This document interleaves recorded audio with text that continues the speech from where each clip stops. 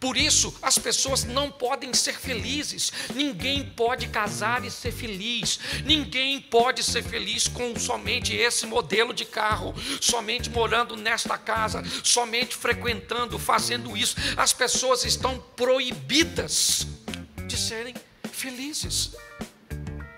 E pior, quando você define para alguém que é feliz com o que você tem, as pessoas vão tentar te convencer que é mentira sua.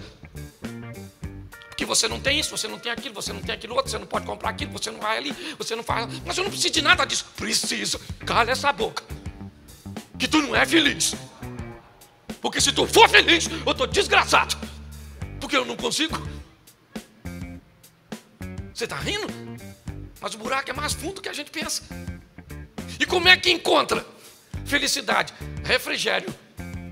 E o refrigério vem, termina o texto. Como é que ele vem?